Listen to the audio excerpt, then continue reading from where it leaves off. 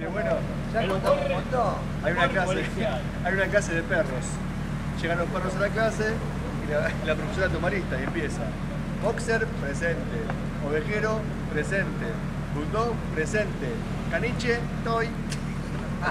En esta película lo contó 64 veces, boludo.